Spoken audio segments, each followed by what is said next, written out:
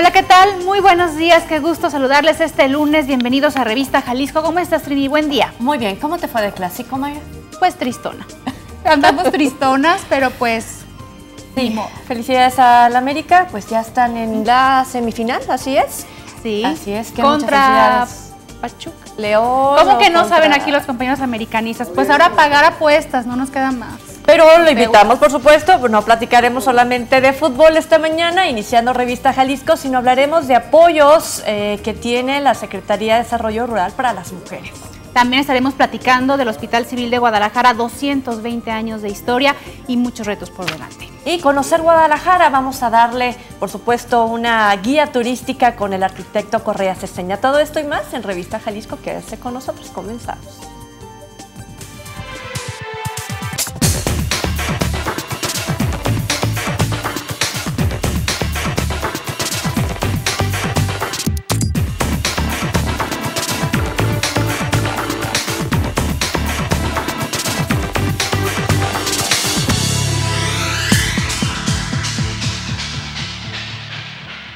Bueno, ya platicábamos o adelantábamos y para hablar del tema de los apoyos a mujeres que son de verdad productivas en el campo, está con nosotros Diana Rivera González, directora de supervisión del programa de la Secretaría de Desarrollo Rural, Mujeres Productivas en el Campo Agropecuario y Ganadero. ¡Wow! Tantas cosas hacen las mujeres. Muy buenos días. Hola, ¿Qué buenos tal? días. Muy buenos tal? días. pues sí, como ven, este, nos hemos encargado de, de buscar esas mujeres trabajadoras en el campo y la verdad nos hemos llevado una grata re- este, respuesta porque nos hemos dado cuenta que en el campo de Jalisco hay tantas mujeres que se dedican a estas labores y que son emprendedoras, ¿no? Y el gobierno del estado se ha encargado en, pues, en apoyarlas de diferentes maneras. Son esas mujeres que apoyan al esposo, a una comunidad también de hombres, o ellas solitas han empezado a decir yo puedo y voy a emprender algún negocio relacionado con el campo. Pues mira, tenemos diferentes casos. Se han estado apoyando desde el año pasado. Empezamos con un programa que se llama Mujer Productiva Rural, al cual este, se va enfocado más a mujeres que, por ejemplo, sus esposos, desgraciadamente, se van a- al extranjero, las dejan solas. Eh, como sabemos, se vive mucho esto en el campo y las dejan con sus tierras, las dejan este, muchas veces que les mandan dinero y otras veces no. ¿no? Entonces, eh, estas señoras que hacen muchas veces prefieren rentar que trabajarlas y pues hemos visto que trabajarlas pueden tener mayor ingreso que si las rentaran. Así es que el punto aquí es que trabajen ya sea en equipo, eh, como, una, como un grupo, porque entendemos, ¿no? Aquí la, lo que es la figura materna es muy arraiga- arraigada en las familias, de que una mujer trabaja, es ama de casa, madre y demás. Entonces, este programa va enfocado más que nada a todas esas, esas mujeres jóvenes, señoras, ahora sí que no importa de los 18 años hasta que el cuerpo aguante, para que ellas puedan trabajar este, en diferentes proyectos productivos. Les pongo un ejemplo de lo que se apoyó últimamente. El año pasado hubo un apoyo precisamente para unas chicas que son de Ixlavacán del Río y ellas se dedican a lo que es la porcicultura, pero de un enfoque muy diferente. Ellas se dedican a lo que es este, la venta de lechón como tal, porque le vieron mayor beneficio a eso que este, vender la, el lechón en... Este, El cerdo ya maduro, ya grande, ya ya grande, así es. Entonces, les está yendo muy bien vender los pequeños lechoncitos y es un mercado diferente, ¿no? Y son tareas que ellas desempeñan y no me la van a creer, pero son los chiqueros más limpios que yo he visto en la vida, ¿no? se, se han dedicado a la tarea de ser tan pulcras, tan limpias, que pueden este, tenerlos los chiqueros cerca de sus viviendas. Y esto como es un trabajo en equipo de varias chicas, señoras y, y jóvenes, este, no les quita tanto trabajo en cuestiones del hogar, ¿no? De limpieza, de, de cuidar a los hijos, los esposos, y eso es lo que estamos fomentando, por eso el trabajo en equipo, que sabemos que las mujeres tienen muchas labores en sus casas y lo que tratamos de hacer es de que no, no se dispare esa, este, que sea una equitativo, un equilibrio, equilibrio todo en las entre, entre las labores del hogar con las labores este, del campo, ¿no? Como tal que es mucho más fácil div- dividir una tarea de un proyecto entre varias que si lo hiciera una sola, ¿no? Y eso obvio trae más beneficios a lo que son este diversas familias, ¿no? Hemos apoyado proyectos que son familias completas como tal, pero las cabezas son las mujeres. Oye, eso quería preguntarte, porque a lo mejor, eh, pues es la, dices jóvenes, ¿no? Y que a lo mejor sí tienen esta, esta, esta tierra, este espacio, estos corrales, pero ¿cómo hacen para unirse con a lo mejor otras familias? ¿Regularmente son familiares estas, estas empresas o también hacen alguna sociedad donde tengan que demarcar eh, de manera rigurosa quién es el propietario, quiénes son los inversionistas, quiénes trabajan bajo X sueldo, etcétera. En este caso, como son pequeños proyectos productivos, realmente casi todos me refiero a familia porque son hermanas, cuñadas, mamás, hijas. Eh, el viernes pasado estuve precisamente visitando un grupo de señoras en Jocotepec, que me llamó muchísimo la atención porque eran, son apicultoras y se dedican a la producción de miel y es una señora y puras hijas, son alrededor de cinco o seis hijas. Entonces, ellas son las que tienen la granja apícola, ¿no? Y eso es muy padre, eso es a lo que me refiero, familia. Obvio, tienen hombres que las ayudan a, a elaborar diferentes cosas porque es raro empresas que encontremos 100% de mujeres en el campo porque obvio se necesita la fuerza del hombre para hacer algunas tareas, pero lo interesante es que ellas son las que dirigen, ellas son las que traen el proyecto a la innovación. O sea, yo he encontrado señoras que, híjole, tienen proyectos tan innovadores que digo, ¿cómo es posible que estén así como tan pequeñito? Hay que ayudarlas a, que crezcan tal ese proyecto, ¿no? Porque a lo mejor ya tienen la idea, tienen el sueño, pero les falta el equipo, la maquinaria para echarlo a andar. ¿Ahí es donde entran ustedes? Así es, nosotros les apoyamos en parte para que se constituyan como una organización, ya sea como cooperativa, este, sociedad de producción rural, sociedad anónima, de acuerdo a las especificaciones o a los requerimientos que ya se les pueda aplicar más fácilmente o que sea más, este, una manera más fácil de, de llevar esa organización como tal. Y, este, y la otra parte de los apoyos es precisamente para maquinaria. Y aunque a veces son pequeños montos los que se les dan, créanme que hacemos la diferencia en muchos casos. Les pongo el ejemplo de unas señoras de Tlaquepaque que ellas se dedican a la producción de maíz, pero ellas nada más tienen dos hectáreas de maíz. Entonces, lo que, lo que ellas hicieron para poder ganar más ingresos de, esa, de esas parcelas, muy poco, muy poco para vivir todo el año, este, lo procesan.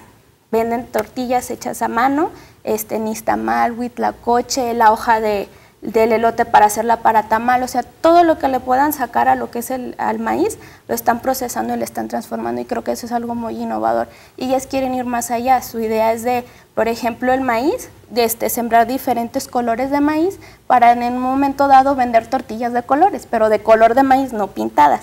Entonces a ellas se les apoyó lo que fue para mesas de trabajo de esas de acero inoxidable, un molino, este de estos casos para tortear y eso les está generando más ingresos. Ah, también les están ayudando para poder este, incluirlas en lo que son pequeños mercados o tianguis para que vendan su producto. Entonces, vieron las tortillas hechas a mano, pues a todo mundo se le antojaba, ¿no? Comérselas ahí y fueron más allá. Pues vamos a sembrar este frijoles, se hacen sus frijolitos de lo que ellas mismas siembran de frijol, luego que también venden este cacahuate tostado que también ellas cultivan y pues ya están haciendo y todo un esquema no de venta. pero ellas se innovaron, ellas sí se pusieron creativas, pero habrá otros negocios que se estancan y, se quedan en lo que apuntaron como primer punto de su proyecto y no, y no van a la creatividad, no van a otros mercados. Ustedes también le apuestan a, la capacitación, de ver qué más se puede hacer con Así ellas, es, parte también de otro, de este mismo programa se apoya lo que son capacitaciones. Este, estamos muy interesados en que cada producto tenga un valor agregado como tal, si, es posible. Eh, por ejemplo, damos capacitación para su registro de marca en, productos que ya estén para, para etiquetado o para vender empaquetado como tal. Eh, capacitación contable, que yo creo que es muy importante porque el hecho de tener una contabilidad básica dentro de tu misma empresa te ayuda muchísimo para que puedas saber cuánto te cuesta producir, qué es lo que puedes cuánto lo puedes vender y si realmente es rentable lo que estás vendiendo y si no ver la estrategia para poder innovarlo o poder transformarlo o simplemente cámbiate de giro, ¿no? Regularmente cuando empieza el año empiezan los proyectos y empieza la salida de los recursos para estos, estos programas que tienen las mujeres de apoyo. Pero ahorita estamos ya casi a mitad de año. Entonces, ¿todavía hay posibilidad de que las personas, las mujeres, tengan acceso a estos programas? Mira, acabamos de cerrar ventanilla hace como dos semanas. Eh, tuvimos una gran este, afluencia de solicitudes, este, subimos nuestro, nuestro cúmulo de solicitudes un 100% porque hubo muy interés, este programa es nuevo, iniciamos apenas el año pasado, este, y ha habido mucha, mucho interés por las mujeres, a mí me decían, ay, ¿cómo las mujeres van a poder hacer tantas cosas? No, pues para que vean que sí hay muchas mujeres en el campo que se dedican al trabajo duro y que ahora se abrió todo el Estado, ¿no? Y, ahorita estoy en la tarea precisamente de ver a todas esas señoras que están involucradas en el, en el medio del campo para ver en qué podemos ayudarlas. En qué Tendrás que hacer una selección para ver eh, a quiénes se les puede ayudar y a quiénes no. ¿Habrá proyectos que no son viables? En el caso de los proyectos que no son viables, eh, se refiere más que nada al tipo de, de proyecto, por ejemplo, que me dicen, híjole, yo quiero poner borregos, pero ni siquiera he tenido un borrego en mi vida, ¿no? Mm, y no sé nada respecto a borregos, ¿no? Entonces la intención con nosotros es de que ya ellas sepan su oficio como tal y poder impulsar ese oficio de lo que ellas ya saben y poder capacitarlas para que crezcan si ya tienen un, diseño de algún pequeño proyecto, por más pequeño que sea, se les puede, son elegibles, ¿no? De, lo que sea, como les digo, este chicas del maíz nomás tienen dos hectáreas, o sea, no es necesario que tengan las grandes cantidades de hectáreas como para poder entrar a este tipo de proyectos, que es para apoyar pequeños proyectos. ¿Y cuándo empieza la siguiente etapa? ¿Cuándo las mujeres que nos están viendo en este momento, cuándo podrían empezar a tocar puerta para saber cómo presentar el proyecto y tener acceso a estos recursos? Las aperturas de ventanilla es una vez al año. Este, aproximadamente nosotros estamos abriendo un mes completito, esta vez fue el mes de abril, que realmente fue un, gran tiempo para poder recibir solicitudes y como les comento, estamos de todas maneras a la orden de la Secretaría para cualquier información que necesiten y de todas maneras, independientemente que no puedan entrar al programa, si necesitan algún tipo de asesoría o requieren algo, nosotros podemos apoyarles. Porque a lo mejor todas esas mujeres que metieron su solicitud, Em, pues tienen la intención de si no quedan en este año, el año que, viene, volver a intentarlo y se les da esa retroalimentación de, oye, estuvo mal esto, está un poco débil esto, para que sigan trabajando y tengan más posibilidades el 2017. Así es, es. en este caso somos un programa este, que nos gusta decirles el por qué no se, no se ¿cómo se dice? Nos, otorgó. el apoyo, porque muchas veces es precisamente por esos pequeños detalles. A veces recibimos tantas solicitudes que necesitamos analizarlas poco a poco cada una. Entonces lo que hacemos es, si sale negativa su, su este, solicitud, decirle, ¿sabes qué? Te hizo falta a lo mejor eh, que tu grupo fuera más fuerte, ¿no? Puede ser que a lo mejor el grupo no sabe bien cuál es su proyecto y pues es una debilidad como tal, porque si no tienes idea qué es lo que quieres hacer, pues cómo te vamos a apoyar para que crezcas, ¿no? Tienes que establecer bien cuál es tu proyecto como tal. Y ya en dado caso que si, que si salen aprobadas, pues ya se les dice cuáles son los pasos a seguir. Y lo padre de todo esto es que se le da un continuo seguimiento. O sea, ahorita yo les doy seguimiento a las chicas que se apoyaron el año pasado, precisamente para que no se sientan este, como que ya me dieron el apoyo y ahora qué, ¿no? Les damos seguimiento y ahorita ya vamos en etapa de comercialización con ellas, con algunos grupos ya tienen su producto y nos estamos dedicando más que nada a ver espacios para poder comercializar esos productos también. Bien, Diana Rivera González, gracias por habernos acompañado esta mañana en Revista Jalisco. Buen día. Gracias. Gracias. Gracias. Vamos a ir a la pausa y regresando estaremos tocando el tema de eh, las inundaciones, las lluvias, porque siempre hay problemas, Trini, con las inundaciones. Así es, desde el punto de vista periodístico. Regresamos, estamos en Revista Jalisco, le recordamos el teléfono 3030 5307. Ya volvemos.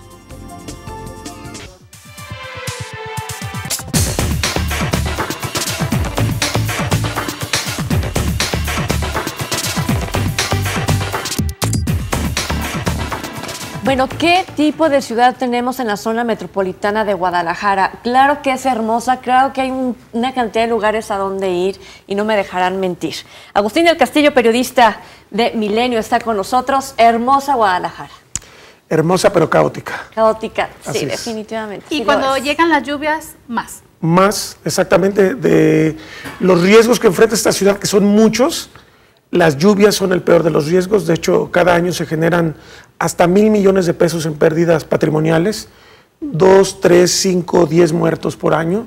Es un problema gravísimo el tema de las lluvias. El tema de la urbanización, donde había eh, arroyos, eh, ríos, hoy hay casas. Hay casas y hay calles. Pavimentamos, entubamos. Desde hace un siglo, poquito más de un siglo, que se entubó el río San Juan de Dios, el modelo ha sido entubar los ríos, pensando que eso iba a resolver, que podíamos resolver el problema del flujo del agua con un tubito. Lo que nos ha demostrado la historia con el paso del tiempo es que no hay manera de contener una avenida extraordinaria en una ciudad además donde en un día de temporal típico lo que llueve en una hora es 90% de lo que llueve en todo el día. Entonces tienes de repente picos impresionantes a las 6, 7 de la tarde que te inundan toda la ciudad. A las 8 de la noche ya pasó todo y ya todo se secó, ya ocurrió el desastre. Eh, o sea, tendríamos que haber diseñado una ciudad con la lógica de que no hay mucha agua, pero cuando hay agua es impetuosísima. Cuando partes desde cero, vamos a pensar a partir de este momento del día de hoy, donde ya hay lluvias, este, y sin embargo, por ejemplo, el CIAP anuncia, el gobierno del estado anuncia una obra para sacar el agua de lluvia. Ojo, literal, estuvieron aquí sentados y nos dijeron que el proyecto es sacar el agua para evitar inundaciones. Con esto estamos resolviendo qué porcentaje del problema. Pues mira, la inversión que se consiguió para este año es apenas de 700, 800 millones de pesos. Es el comienzo de la solución. Hay un viejo proyecto que el CIAPA en el año 2007 generó que se llama PROMIAP, Programa de Manejo Integral de Aguas Pluviales, es la base de esta inversión. Es una serie de obras de ingeniería justamente para generar vasos de regulación, para ampliar ciertos cauces, para tratar de darle un manejo a esta forma que tiene tan eh, intensa la lluvia en Guadalajara pero en realidad estamos hablando que es un proyecto que va a requerir como 7 mil millones de pesos, que seguramente se va a llevar esta administración y la siguiente administración estatal y que no va a resolver a 100% el problema, porque por ahí también hay una discusión muy interesante, hay un grupo de académicos que le dice al gobierno del Estado y al CIAPA, no te limites a hacer obras de ingeniería, tienes que recuperar la capacidad de los ecosistemas para regular el agua. Necesitamos áreas verdes, necesitamos recuperar algunas cuencas, necesitamos evitar que se sigan construyendo edificios en zonas donde no se debe. O sea, de repente es afectar el modelo de urbanización que es que es imperante en Guadalajara. Recordemos, Guadalajara tiene 50 años construyéndose con la norma del urbanizador. Y la norma del urbanizador en Guadalajara es la ganancia inmediata, no importa lo que pase a los 5 o 10 años, yo ya cobré rápido lo que costaron esos inmuebles y yo ya me fui a hacer otra, otro inmueble. No, y también extranjeros, ¿no? Empresas extranjeras que vienen, dejan y vaya Dios. O sea, no solamente es el desarrollo para la economía nacional, sino que mucho de esto se va. Entonces no nos están dejando una infraestructura eh, donde puedan tener como asociación de ingenieros, como eh, arquitectos, una unión en la forma de, de construir. ¿No? de poder traer todos los intereses de la ciudad para un desarrollo urbanizado, un desarrollo urbano más parejo, pues. Es que de hecho no es desarrollo porque desarrollo implica justamente lo que tú dices, implica equidad, implica que todos ganan. En este caso simplemente economía. Es, y hay una frase que creo que lo sintetiza muy bien, las ganancias son privadas, pero las pérdidas son públicas. Tú construyes un desarrollo inmobiliario, pero la ciudad se va a encargar de construir el colector, de construir la avenida, de llevar la seguridad pública, de llevar los hospitales, de llevar las escuelas. Eso no es desarrollo. Se ha minimizado lo que han dicho los académicos, los investigadores, porque hay estudios y que también nos los han venido a mostrar aquí a Revista Jalisco. Han minimizado esa parte las autoridades de decir, pues yo le seguiré apostando al recurso para paliar, eh, desasolve nada más y de fondo no hay una solución. Yo creo que sí lo ha minimizado y yo creo que ah, eh, dicen por ahí que hay que seguir el hilo del dinero. ¿Quién financia las campañas públicas? Las inmobiliarias en este país son muy poderosas, ejercen influencia hasta el secretario de Hacienda y pagan campañas políticas. Sería muy interesante que como un agregado a la democracia precaria que todavía tenemos, pudiéramos tener transparencia y saber cómo se financian las campañas públicas, porque esos compromisos justamente vienen de campañas públicas y de gobiernos inmediatistas, son gobiernos de tres años o de seis años. Creo que esta situación de que ya el alcalde pueda aspirar a una reelección va a empezar a ayudar a decir, bueno, van a juzgar mi administración porque puedo no gobernar los siguientes tres años. Es apenas el principio. Me parece que tendríamos que tener transparencia respecto a quién paga las campañas. A ver, hay una forma, eh, como lo explicaba eh, el CIAPA cuando estuvo aquí con nosotros, y es precisamente hacer estos pedacitos de obras para en algún momento tener toda una infraestructura que le ayude a Guadalajara a ser esta ciudad que, eh, que esperamos, ¿no? Con menos inundaciones, quizás más sustentable, que esa es la idea, ¿no? ¿Es correcto empezar así con estos pedacitos, con esos tramos de construcción de obra, por ejemplo, en la zona de Plaza del Sol? Yo digo que si no tienes los 7 mil millones de pesos y además no tienes el tiempo disponible, hay que empezar por algo. ¿Por qué tiempo disponible? Por ejemplo, tenemos toda la vida, toda la vida inundados en Plaza del Sol. ¿A qué le llamas tiempo? Me refiero a que entre, y más lo que comentábamos antes de entrar al aire, eh, el problema del patrón de lluvias que se está modificando, eh, genera que requiera respuestas urgentes porque tienes pocos meses de plazo para sacar adelante una obra. Lo cierto es que también este programa es de 2007, tenemos nueve años y apenas nos animamos a financiarlo. Eh, siempre se posterga, en eso es toda la, razón. Nunca es prioridad. Tenemos un presupuesto en el gobierno del Estado de más de 90 mil millones de pesos y le vamos a dedicar 800 millones, que la mayor parte de ese recurso es federal. Tenemos un presupuesto de más de 10 mil millones de pesos en Guadalajara y le vamos a dedicar una parte mínima del presupuesto por parte del Ayuntamiento de Guadalajara. Sigue siendo no prioritario, probablemente porque es obra enterrada, probablemente porque no se ve, probablemente porque no es como el puente atirantado, donde el gobernador puso su placa y quiso inmortalizarse. Es también un poquito estas formas perversas de la política. Si yo no hago una obra de relumbrón que la gente vea y se asombre, no estoy haciendo gobierno. Me parece que también es esto. Pero aunque sea una obra muy pequeña, cuando hay obra eh, complica el tráfico en la ciudad, complica la situación de, movilidad y se va a iniciar en, pleno temporal, en junio, próximo mes. O sea, también los ciudadanos ahí vamos a tener que poner atención dónde están las obras para no pasar, porque se va a complicar bastante. Si de ya tenemos una ciudad sitiada por un montón de obras. En algún momento llegamos a tener 400 frentes de obras. Es un delirio. Si la ciudad es difícil porque no está bien diseñada, porque tiene una cantidad de carros gigantesca, es triple, seguramente de difícil con tanta obra en este momento. Pero el asunto es que tienes una secretaría que tiene que trabajar todo el tiempo. Pareciera que tiene que hacer obra forzosamente. Para ver el ciudadano que está haciendo algo. En lugar de hacer un proyecto ¿no? que traspase generaciones de, administraciones públicas. Eso es lo importante, que se hereden los proyectos y que se cumplan. Me parece que en el caso de estas obras de agua, sí es una prioridad altísima.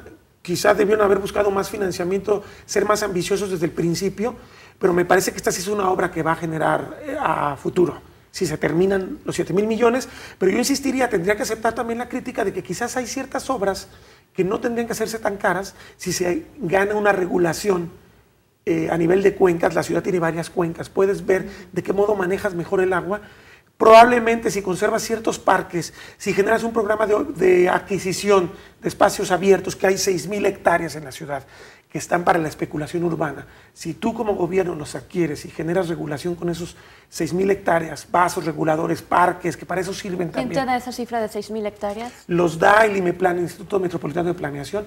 En esta publicación que hizo sobre zona metropolitana en octubre pasado, viene clarísimo y viene incluso un mapa de la ciudad con todos los manchones de espacios baldíos que están adentro de periférico. Yo solamente hablo adentro de periférico, o sea, es una cantidad de tierra impresionante. ¿Y quién tiene la propiedad de todo eso? ¿Es particulares? Particulares, porque además, justamente porque la ciudad en 50 años ha sido diseñada para la especulación, son particulares que están guardando su terrenito porque van a ganar una millonada cuando pase por ahí el colector o la avenida. O sea, estamos generando una plusvalía con dinero público que están apropiándose los privados. Ese es otro gravísimo error.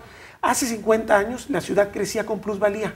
Había oportunidad, por ejemplo, Lázaro Cárdenas se creó con plusvalía. Fue el Ayuntamiento de Guadalajara el que lo creó y fue con puro dinero, abro la avenida y tú me financias porque tú vas a ser el beneficiado como dueño del previo del predio, perdón, que está al lado. Eso ya no se hace y se están privatizando las ganancias, se está privatizando lo que la ciudad genera. Eso me parece que es una cosa gravísima. Y que siempre, año con año, familias en riesgo que, van las autoridades, protección civil hace lo propio eh, meses antes de las lluvias, pero algunas que no se salen están en zonas de riesgo y no hacen la vigilancia para que no se asienten esas Ah, bueno, agreguemos a este desarrollo inmobiliario desordenado y de corto plazo el tema de los asentamientos irregulares. Seguramente de los cuatro y medio, cuatro setecientos millones que tiene el área conurbada con sus nueve municipios, millón y medio por lo menos nació como asentamiento irregular, cero planeación. Sí, cero planeación. Y déjame preguntarte, pregunta Teresa Martín del Campo, ¿es verdad que la colonia El Bajío era un lago natural hace muchos años?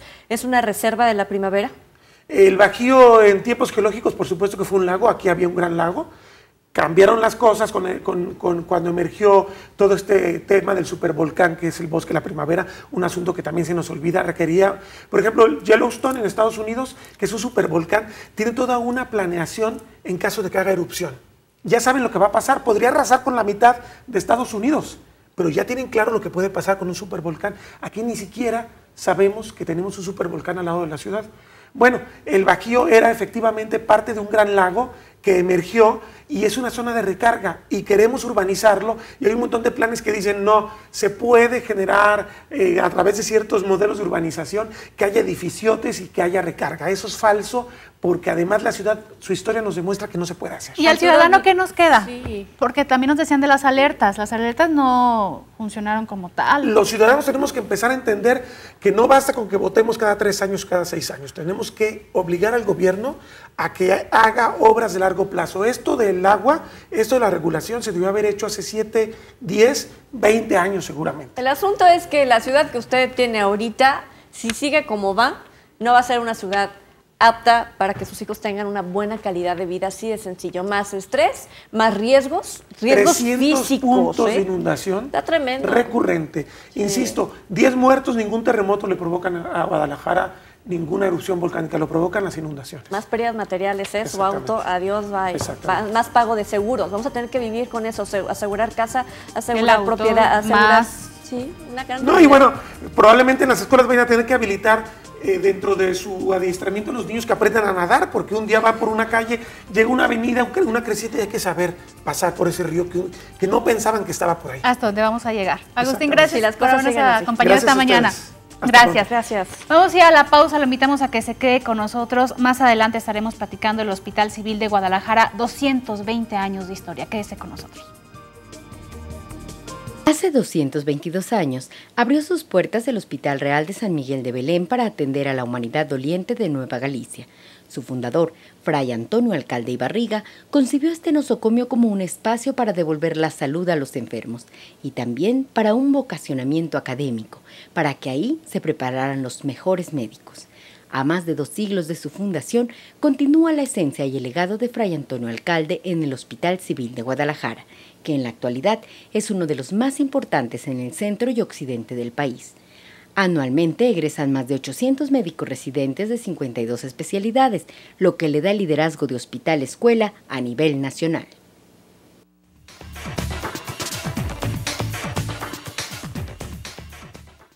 Ya estamos de regreso y decía esta cápsula un referente de Jalisco, por supuesto, pero también del occidente, yo diría del país, el Hospital Civil de Guadalajara. Y esta mañana nos acompaña su director general, el doctor Héctor Raúl Pérez Gómez. ¿Cómo está, doctor? Muy bien, buenos días. Muchas gracias, buenos días. Gracias por la invitación. Gracias, buenos días. Y que todos los días incrementa el número de pacientes que llega al hospital.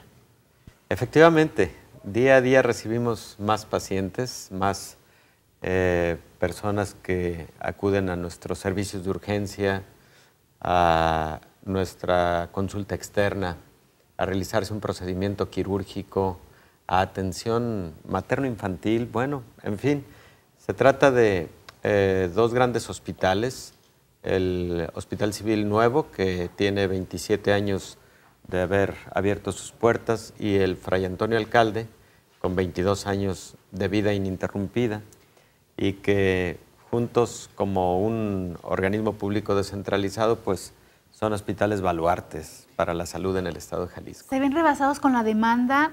¿Hace más el personal de su, de su deber para poder atender a, ese enfermo que llega? Definitivamente. El hospital habitualmente está al 100% de su ocupación y frecuentemente está a más del 100% de su capacidad instalada. Sobre todo hay áreas más álgidas como el caso de eh, las, áreas de maternidad, tococirugía, eh, atención a neonatos, a niños recién nacidos y particularmente a recién nacidos con prematurez extrema, eh, que tienen alguna complicación, que están graves, porque son pequeñitos que nos envían de muchos hospitales de las diferentes regiones del estado de Jalisco. Son pequeñitos que nos envían con mucha frecuencia incluso de hospitales privados. Nacen con prematurez, eh, frecuentemente no existe la infraestructura adecuada para su atención y entonces terminan concentrándose en el Hospital Civil de Guadalajara. Ese es un fenómeno muy común, es un fenómeno del día a día. ¿Y cómo le hace, doctor? Porque pueden tener las eh, grandes especialidades, grandes doctores, infraestructura, sin embargo la gente les sigue demandando el servicio de urgencias. Por ejemplo, cuando tienen alguna gripa, cuando tienen alguna situación que lo pueden ver en algún centro de salud o que lo pueden ver en una este, Cruz Verde, Cruz Roja, etcétera, y llegan todavía ahí. Sí, sí ocurre ese fenómeno. Y bueno, eh, cada vez eh, somos insistentes en que eh, los padecimientos generales, llamémosles los más comunes, busquen atención en la clínica más cercana incluso a su domicilio, en los centros de salud que tienen plenamente la capacidad de brindar ese tipo de atención.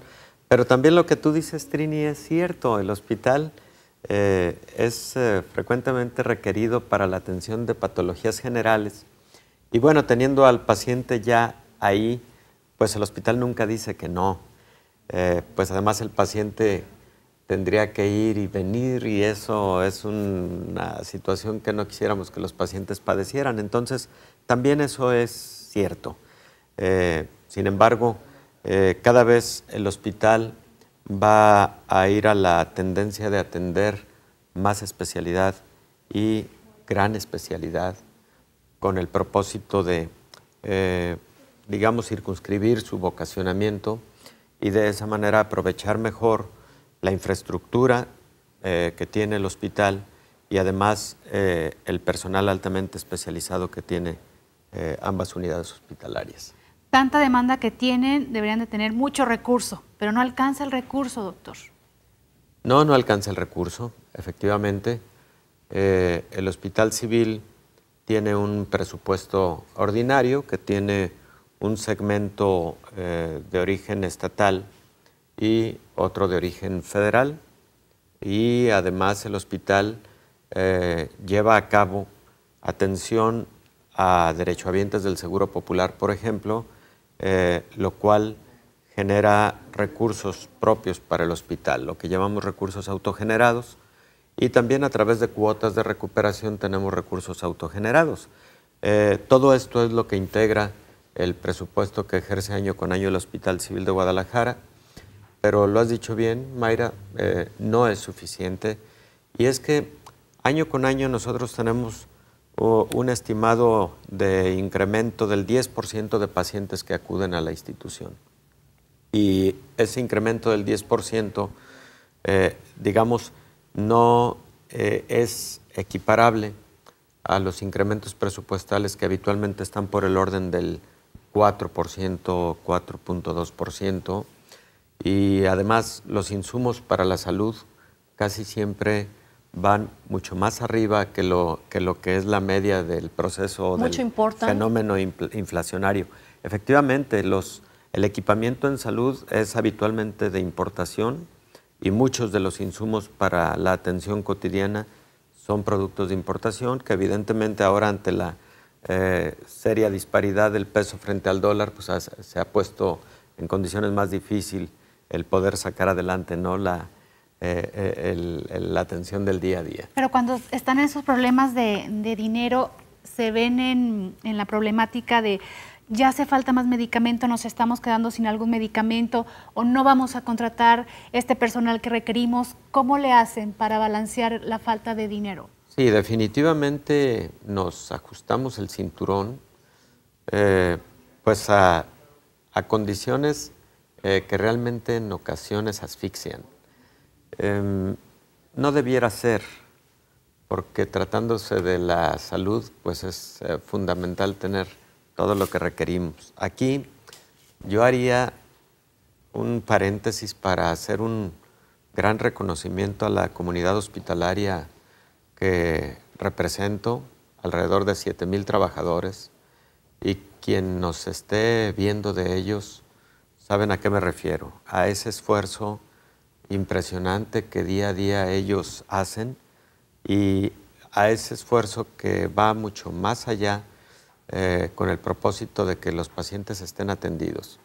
Ejemplo, hay ocasiones en que en una sala con 25 pacientes tenemos eh, a dos o tres enfermeras.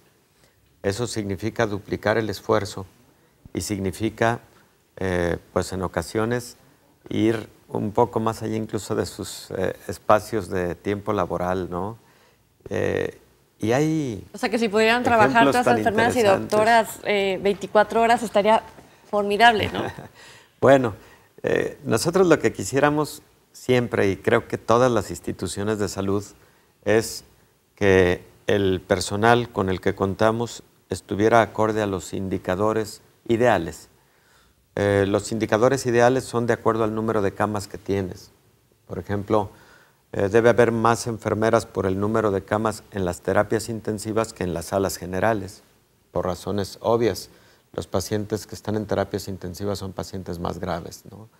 Y esos indicadores están establecidos eh, para el nivel internacional, eh, lamentablemente es difícil alcanzarlos en la mayor parte de las instituciones de salud y también diría que es un fenómeno casi mundial porque sí existe mucha restricción presupuestal a nivel mundial. ¿Cuánto, es entonces eh, eh, la comparación? ¿Cuántos ¿Cuántas enfermeras o enfermeros tienen por cama?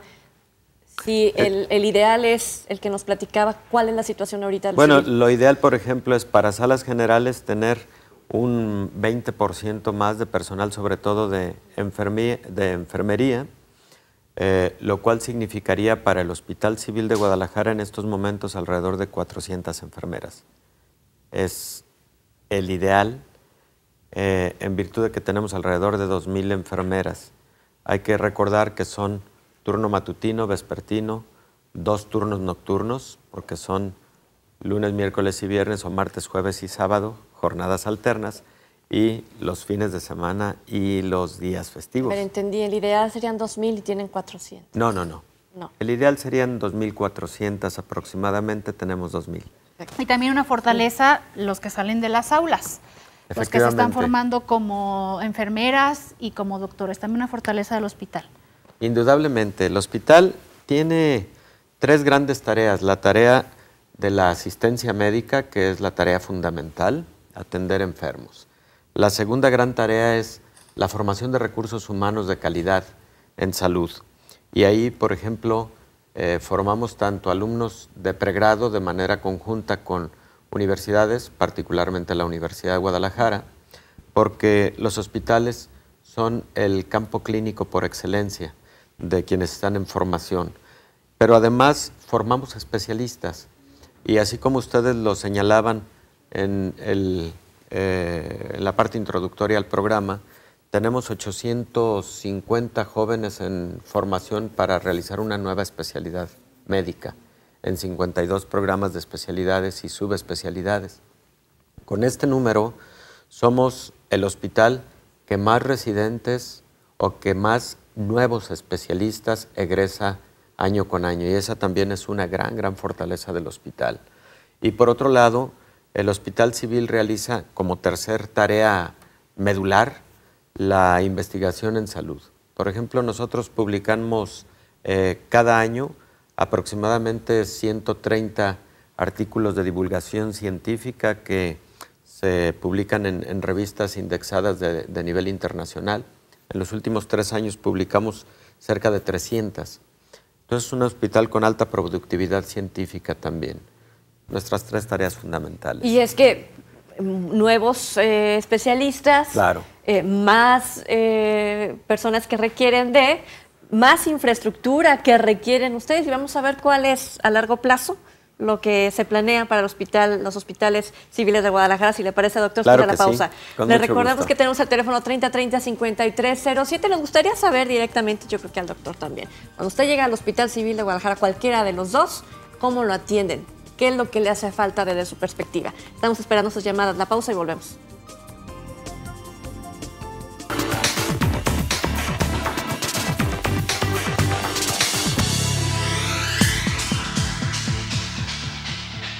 Bueno, y platicando con el doctor Raúl Pérez Gómez, director general de Hospitales Civiles de Guadalajara, yo le preguntaba, eh, ¿cuál es la expectativa? Eh, ¿Se quedan los edificios como están? ¿No va a haber remodelaciones? ¿Si va a haber?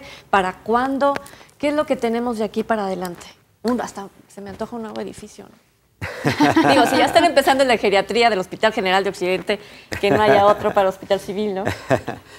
bueno, Trini, los hospitales como los nuestros tienen eh, la inminente e impostergable necesidad de estar actualizando sus infraestructura, eh, su equipamiento día a día.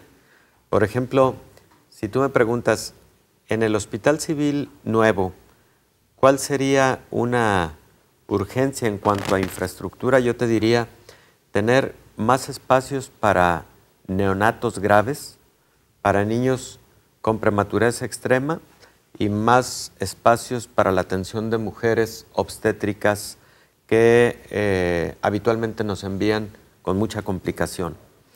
Porque esas son las áreas que más están saturadas en el Hospital Civil Juan y Menchaca. A veces tenemos todas nuestras camas ocupadas de mujeres en trabajo de parto y tenemos que implementar espacios especiales para más mujeres que van llegando ese día, pero que no pueden ser atendidas frecuentemente en otra institución porque vienen con ese tipo de complicaciones graves del, momento obstétrico, ¿no? Hemorragias uterinas, hipertensión arterial grave, convulsiones por eclampsia o preeclampsia, eh, con insuficiencia renal aguda, lo que llamamos síndrome de HELP asociado con daño hepático, etcétera. O sea, mujeres con serias complicaciones obstétricas. A estas mujeres obstétricas no las puedes enviar a, ningún otro lado. Las tenemos que atender ahí. Y lo hacemos con mucho gusto, pero frecuentemente nos vemos rebasados en nuestra capacidad instalada en ese tipo de áreas. Y lo que decía también antes, ¿no? Pequeñitos que nacieron, eh, que están prematuros o que ya en algún hospital privado se complicaron con un cuadro infeccioso y los envían a que continúen su atención con nosotros en el hospital. La semana pasada, por ejemplo, nos vimos en la imperiosa necesidad de apartar un quirófano para ahí convertirlo de manera emergente en una sala de neonatología o de cuidados intensivos neonatales, porque de tener ocho espacios para niños graves eh, prematuros, nos llegaron eh, o no pudimos enviar a ninguna otra institución y nos llegaron alrededor de 10 niños en condiciones graves. Entonces tuvimos que implementar de manera emergente un espacio. Afortunadamente las cosas eh, van bien, las cosas han salido bien este fin de semana y eh, esos niños están evolucionando razonablemente bien. Pero si ustedes me preguntaran eh, por ejemplo, sobre una necesidad inminente, pues sería esa, por ejemplo. ¿Cómo van los nuevos quirófanos? Que son 12 los que se cerraron hace que un año. Hace un año, precisamente en el Hospital Civil Antiguo que estamos viendo en la imagen, eh, tuvimos necesidad de cerrar 12 quirófanos porque eh, encontramos ya afectaciones importantes en las instalaciones hidrosanitarias y como son quirófanos que corresponden al edificio histórico, que muchas veces es intocable por, porque está, eh, es un edificio que está resguardado por el INA y que tienes que cuidar en, esa, eh, en ese valor histórico. Bueno, vimos que no podíamos necesariamente ya ahí remodelar para dar continuidad al funcionamiento de estos 12 quirófanos. ¿Qué es lo que vimos? Que no tenemos otra alternativa que construir 12 quirófanos. Y estamos en búsqueda de recursos extraordinarios a nivel federal para lograr ese recurso y poder iniciar la obra. Yo espero que por lo menos a finales de año estemos dando eh, cuenta de que ya tenemos algo claro en ese sentido. Porque un impacto importante está teniendo que estén cerrados. Sí, sí, sí, definitivamente. Aunque tenemos funcionando en el Hospital Civil Antiguo alrededor de 18 eh, quirófanos, pero esos 12 pues los necesitamos porque así es la productividad. Si ustedes me, preguntan cuántas cirugías realizan anualmente, realizamos 40 mil cirugías. Es fácil decirlo, pero pensarlas. Y lo que platicábamos hace un momento, muchas son cirugías comunes, indudablemente. Eh, cirugías de la vesícula biliar, apendicectomías, etcétera.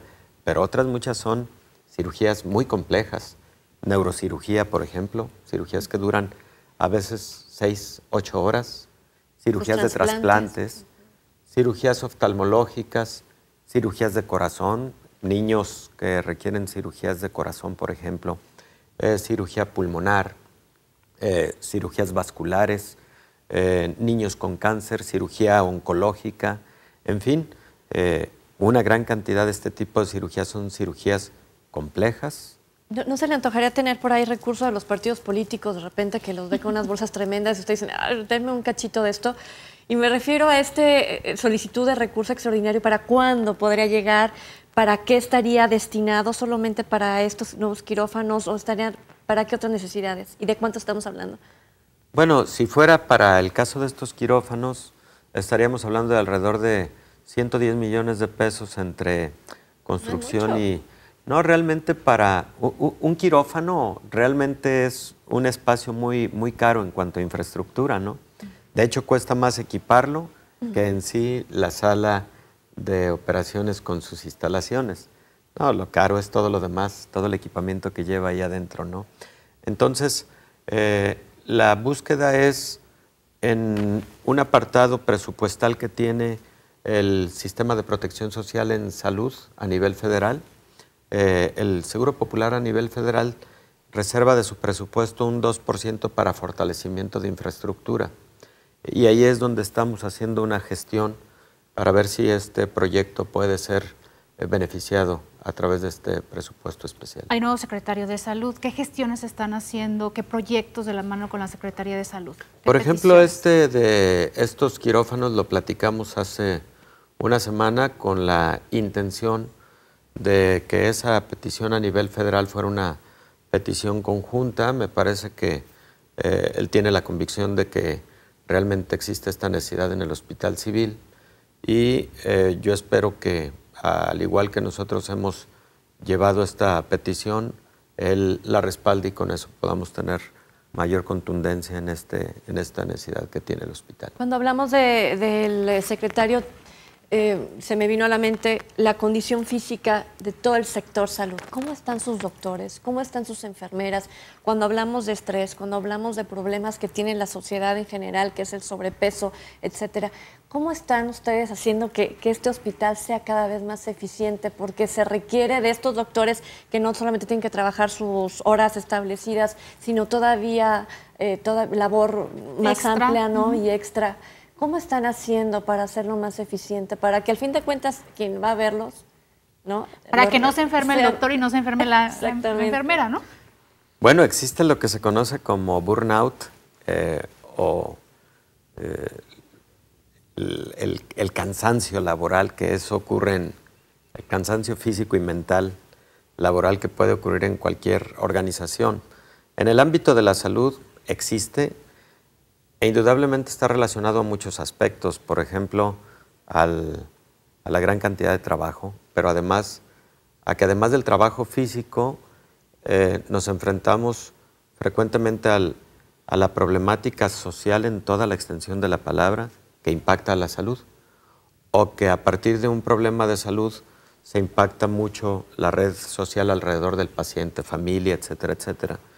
En ese sentido, bueno, el personal de la salud estamos eh, preparados para ese tipo de escenarios, pero indudablemente eh, el personal de la salud llega a cansarse y con el propósito de identificar oportunamente esto, sí tenemos sistemas de soporte para el propio personal.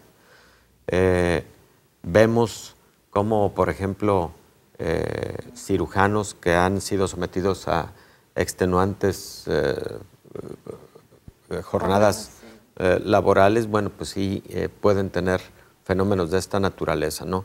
Tratamos de identificarlos, tratamos de que se acerquen a pedir soporte en ese sentido y tratamos de convertirnos nosotros mismos en una red social de apoyo con el propósito de que siendo pues una gran familia y una gran comunidad podamos salir, salir adelante con esta, esta sobrecarga de trabajo.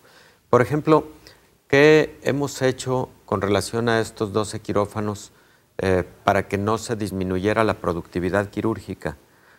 Con la gran voluntad de muchos cirujanos que tienen sus turnos laborales de lunes a viernes y de forma voluntaria nos aceptaron que les programáramos alguna cirugía o algunas cirugías eh, en sábado. domingos. O en domingo. Y lo digo con muy alto reconocimiento para ellos porque aun cuando esto ocurrió eh, en mayo del año pasado, en estos momentos lo, lo siguen haciendo. Y lo hacen con un gran espíritu de servicio, con una gran voluntad. ¿Nos permiten a la pausa? Sí, claro. Seguimos precisamente con el tema y, lo que nos queda con el Hospital Civil, que es sin duda mucho. Vamos a la pausa, Mayra. Vamos a la pausa, ya van a ser las 10, tiempo del corte informativo.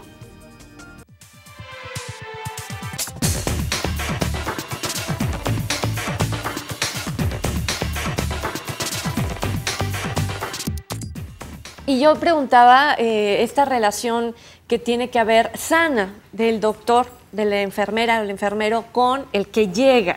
Porque muchas veces el que llega a pedir una solicitud en el hospital, eh, los hospitales civiles, pues está en un propósito. Y muchas veces llegan, por ejemplo, solicitando un servicio que va de acuerdo al seguro popular, que es lo que tienen contratado, ¿no? Y por esta situación de que fíjate que no, e, esta enfermedad no se trata, esta sí, esta no, hay que esperar. Y en esta espera, estira y afloja de quien va a solicitar el servicio y el doctor, empieza a ver cierta rigidez. Eh, ¿Cómo solucionar esta situación de mera información y que termine en un buen servicio? Bueno, se identifican las patologías, por ejemplo, que cubre el Seguro Popular, que están contempladas en un catálogo y que son las patologías que habitualmente se señalan en los convenios que firma el Seguro Popular con las instituciones que proveen servicio a sus derechohabientes. Cuando una de estas patologías no es cubierta por el Seguro Popular, se le tiene que explicar al paciente, no negarle la atención, pero sí explicarle que esa patología no va a tener cobertura digamos, en lo económico por parte del Seguro Popular y que entrará posiblemente en otra dinámica de atención, eh, eh, probablemente a través de cuotas de recuperación, a lo mejor se le va a solicitar alguna cuota de recuperación. Y eso causa algún tipo de conflicto que también hay que resolver. Puede generar algún conflicto. Yo creo que es cuestión de explicarle a los pacientes con mucha claridad lo que sí y lo que no eh, cubre el Seguro Popular. Pero no se, le ha, no se ha regresado a ningún paciente por problemas económicos con el Seguro Popular. No, no, no. No, no se ha regresado a ningún paciente. Mm, no es nunca la dinámica y el propósito del Hospital Civil, al contrario. Eh, procuramos que, queden atendidos y lo mejor atendidos posible. Eh, procuramos que queden satisfechos. Igual sabemos que esa dinámica o ese eh, trámite que se tiene que cumplimentar para revisar su póliza y todos estos aspectos les generan incomodidades, lo sabemos muy bien. Eh, sin embargo, hay ocasiones en que esperábamos un N número de pacientes y llegan el doble de los que esperábamos para ese día, para esa jornada. Entonces, sí realmente puede, puede ser incómodo para los, los pacientes. Y ustedes aparte tienen que cargar con una deuda el que tienen con ustedes. Al hospital, al hospital civil se les debe recursos de los servicios que han prestado. ¿Cuánto se les debe a los hospitales civiles? Bueno, mira Trini, esta semana precisamente vamos a terminar de conciliar los adeudos que se han generado. Y a mí me han preguntado por qué esta comprobación es tardada y la conciliación de igual manera son un millón cien mil atenciones las que brinda el hospital anualmente a derechohabientes del Seguro Popular. Un millón cien mil. Esto significa revisar un millón cien mil expedientes o eh, notas de atención y demás. Por eso, por eso es complicado. Ahora, la otra parte es que durante el 2016 eh, estamos próximos a firmar el convenio con el Seguro Popular. Eh, correspondiente al año que corre, ¿no? al año en curso. Yo espero que la firma ocurra en estos días. Eh, tenemos pláticas con el nuevo titular del Seguro Popular, el doctor Celso Montiel.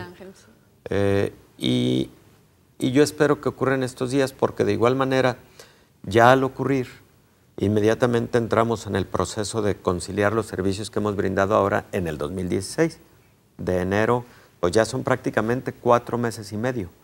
¿no? Estamos a 15, estamos a 16 de, de mayo. mayo así es. Entonces, sí, seguramente ahí habrá un número importante de, de pacientes atendidos y por lo tanto de recursos que estamos esperando que nos radiquen muy pronto para salir nosotros a nosotros. Y oiga, doctor, fue 15 de, mayo y, sabe que, muchos de estos doctores también son maestros, entonces de repente pensamos en que dobletean turnos en el hospital, etcétera, pero también se dedican a la enseñanza, así que a todos ellos muchas felicidades, felicidades. No sé si usted también se dedica a dar clases de vez en cuando, no creo. Definitivo, claro. Ah, pues felicidades. Sí, claro, claro que sí.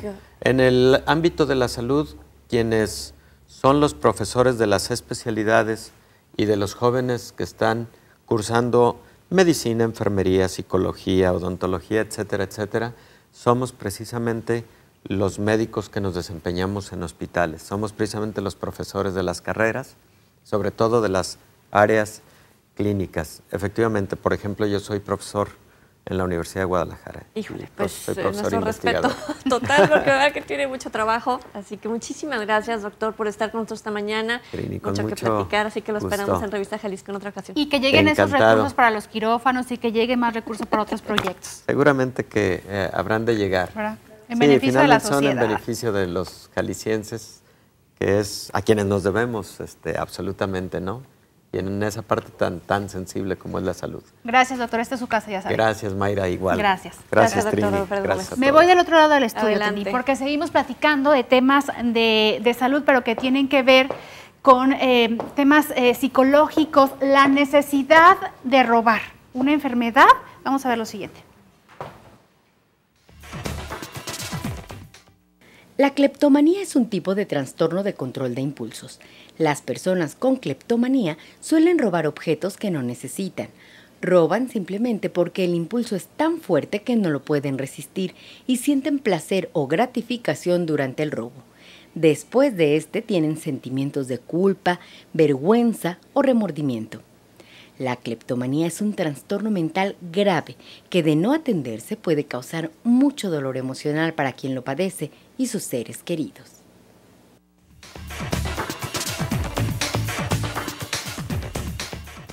Abundemos en este tema con la maestra Marta Catalina Pérez González. Ella es subdirectora del Centro de Evaluación e Investigación Psicológica del Centro Universitario de Ciencias de la Salud de la Universidad de Guadalajara. Bienvenida, muy buenos días. Hola, buenos días.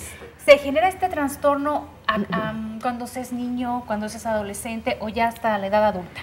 No hay una edad directa en que digamos que, que el niño ya tiene este tipo de problemas eh, como está encuadrada esta enfermedad o este trastorno dentro del área de control de impulsos, puede ser desde muy niño, 6, este, 8 años, este, aunque es una etapa normal en, cuanto al hurto en el niño, eh, pero no necesariamente por esa necesidad de, calmar una compulsión.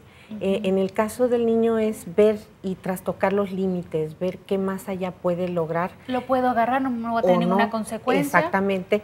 Y, es ver qué tanto se me permite o no. Y en cambio, con el cleptómano es más bien una circunstancia que puede relacionarse más bien con el eh, mitigar una ansiedad, porque de hecho el sujeto, eh, hasta antes de, de ver el objeto, eh, fracasa en, no tocarlo y después siente la ansiedad al estar realizándolo que se mitiga cuando ya lo logra, cuando ya lo tiene en la bolsa, cuando ya lo, ya lo ocultó y lo logra eh, sustraer. Es cuando ve el objeto, es decir, yo tengo unas hojas aquí en la mesa y las veo y me entra esta ansiedad, necesidad de quitarlas, o yo si estoy en el cuarto voy a robarme unas hojas, ¿dónde las encuentro? ¿Cómo se trabaja? No, hay planeación, no hay, planeación. No, hay un, no hay un proceso de, necesidad por el, el objeto, no hay una cuestión delictiva sino más bien el sujeto simplemente tiene eh, el objeto a la vista en ese momento y, evalúa las posibilidades y por supuesto que lo realiza. Aunque a veces eh, ha llegado casos eh, en donde el nivel ya es de mucha gravedad, en donde a pesar de que lo vean o que haya cámaras y que se sienta observado, lo realice. Entonces esa es este, ya una cuestión mucho más avanzada de la enfermedad o del trastorno en donde sí tenemos que revisar qué está pasando con él y por qué está mitigando su ansiedad con ese tipo de conducta. Va avanzando el trastorno, es decir, si empezó con un objeto a la semana, después diario tal vez, cada hora necesita... Eh, puede ser, o sea, eh, la cuestión es cada cuándo viene esa necesidad lo que nos hace llamar la atención. Muy probablemente este control de impulsos no haya tenido un límite en la sociedad que le digan, no, esto, esto es mío, este, va a haber una consecuencia legal. Entonces él se repliega, se, se limita a tener esa conducta, pero en algún momento vuelve a surgir.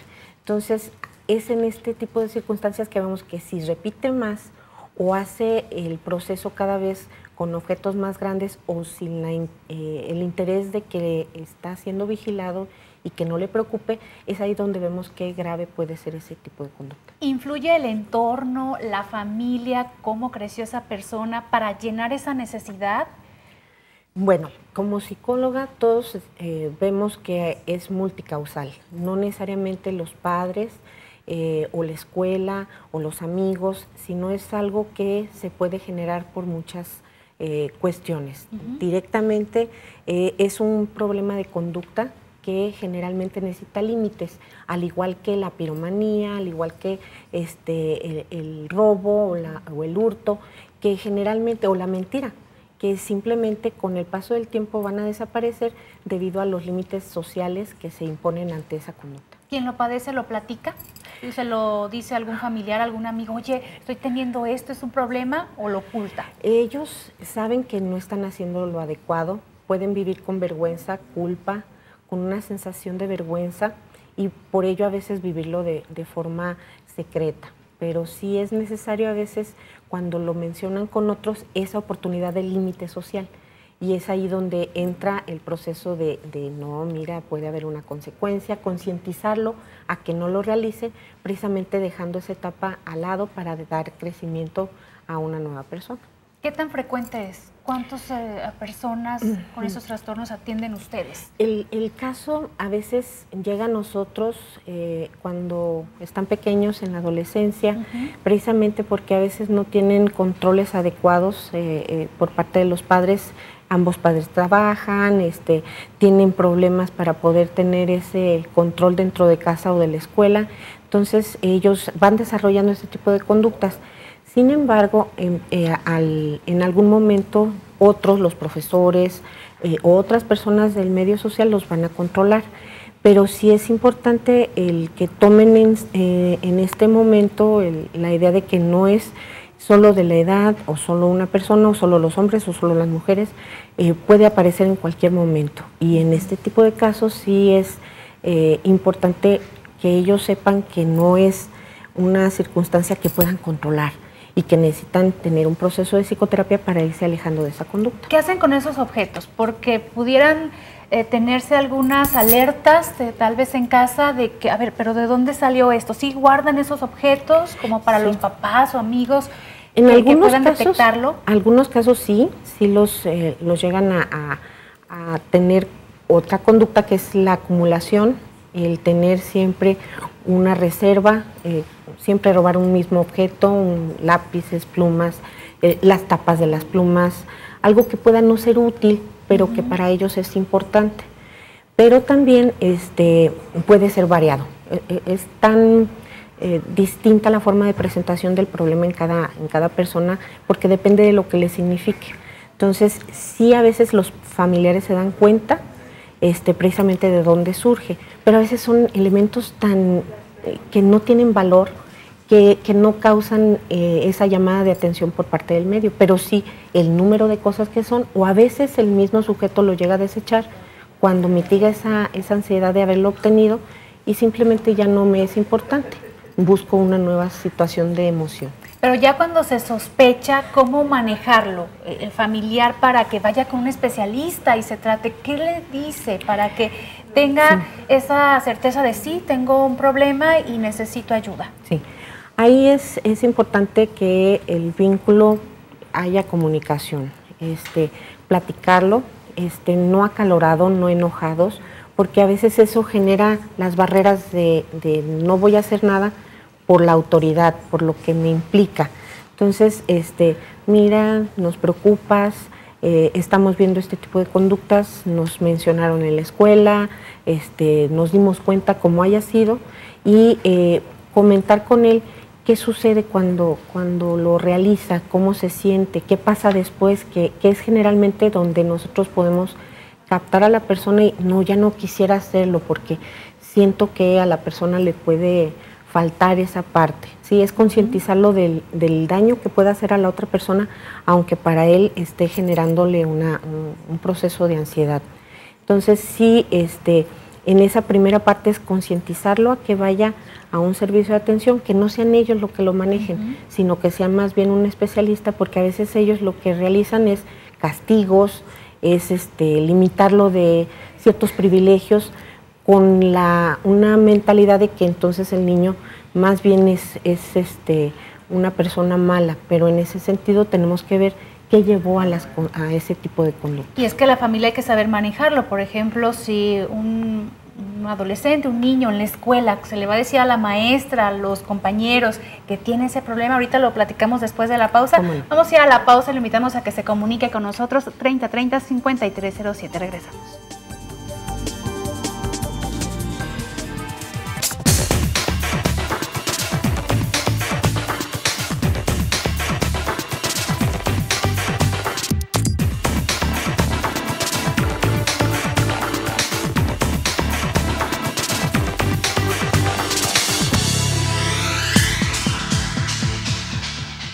Gracias por continuar con nosotros en Revista Jalisco platicando esta mañana con la maestra Marta Catalina Pérez González de las personas que tienen la necesidad de robar, pero que es un trastorno, una enfermedad. ¿Qué pasa con esa persona que está en la escuela, por ejemplo? ¿Se tiene que hablar con el maestro, con sus compañeros de lo que le está pasando? Aquí es importante que, este, bueno, el profesor siempre va a reportar este tipo de conductas a los padres, este, sobre todo porque eh, en cualquier momento que haya un tipo de problema con otro compañerito, este, pues ellos tienen que, tienen que estar enterados de lo que sucede. Y sí es importante, ellos en su momento, si cuentan con un equipo de apoyo eh, de tipo psicopedagógico, ellos dan un seguimiento. Pero si no, se pide que los padres lleven al niño para que pueda ser evaluado y atendido para tratar ese problema porque lo van a catalogar como ratero, como me robó esto, y a la larga ese, ese chico va a tener tristeza, depresión, no se va a poder relacionar bien con otras personas. ¿Qué le va a traer a esa persona? Es precisamente esta, esta sensación que hablábamos de, vergüenza, de, de, angustia, de, de ya no querer hacerlo, pero no poderlo limitar, de fracasar en el intento, lo que le frustra. Y entonces empieza a retraerse a, bueno, si ya no salgo, si ya no estoy con otros, ya no me expongo y ya no me nace la necesidad.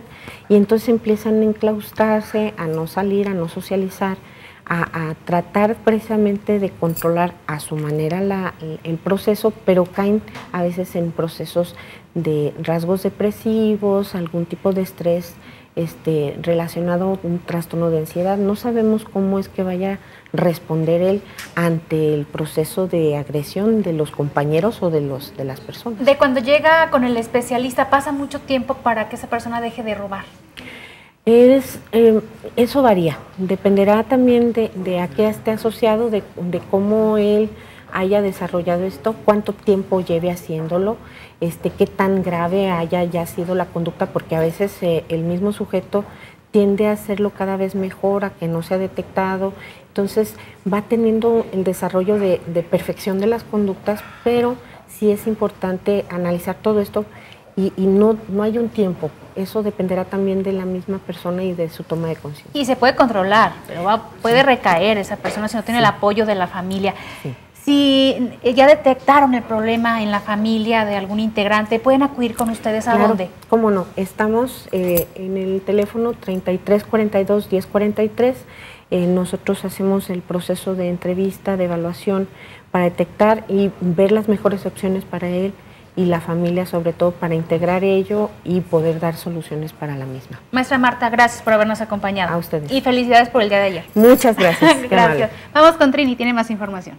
Muchísimas gracias, Mayra. Y cuando hablamos de un abogado, que tenemos que contratar a un abogado y regularmente le tenemos miedo, sin embargo, hay que conocer cuáles son los derechos que tenemos al momento de contratar a uno de ellos, porque ellos han firmado compromisos con su carrera. Antes de presentar la entrevista que tenemos en un momentito, ¿qué le parece vemos lo siguiente? Si la ética busca que los actos del ser humano sean justos y correctos, se halla íntimamente relacionada con el derecho.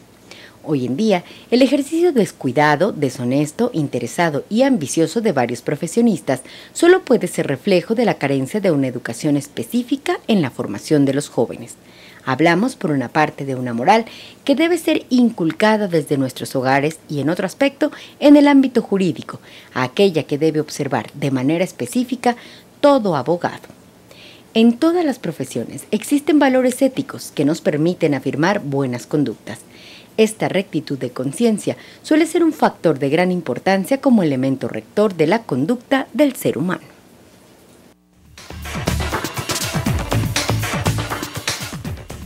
Y está con nosotros el abogado Ernesto Rafael Miranda Valdés de los bufetes jurídicos de la Universidad de Guadalajara y le damos la más cordial bienvenida. Muchas gracias. Híjole, cuando escuchamos todo esto, yo supongo que en, en, las aulas eso se ha de enseñar todos los días y así lo aprendió.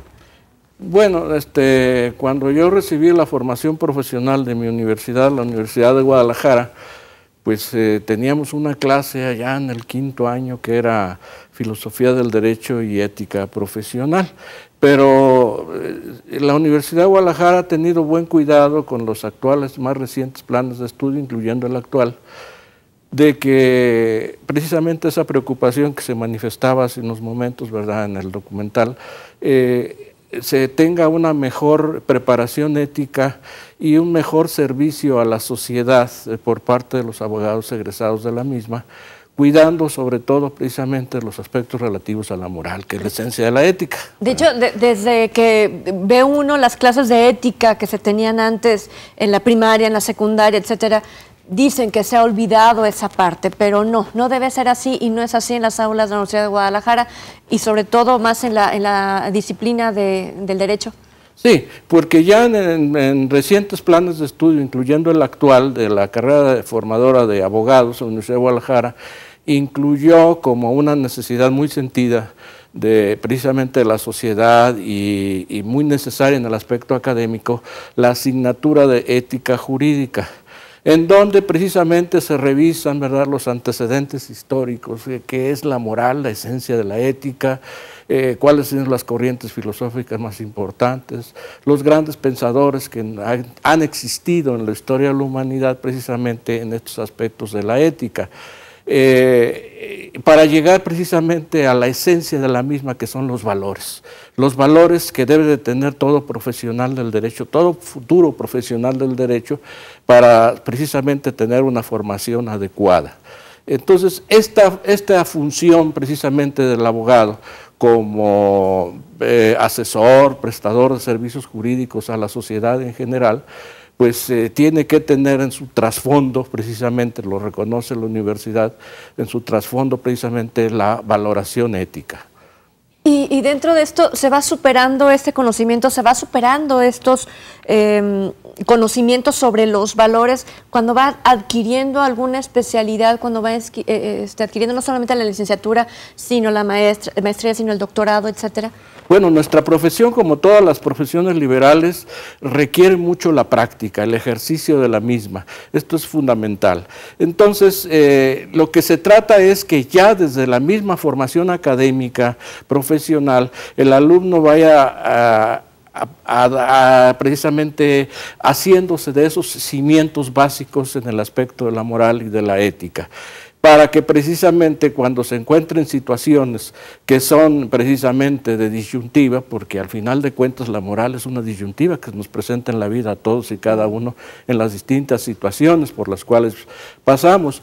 Entonces, el profesional del derecho precisamente debe de realizar su función precisamente en base a los valores éticos. Esto es muy importante y sobre todo pues que como sabemos nosotros, nuestra universidad es una universidad de Estado.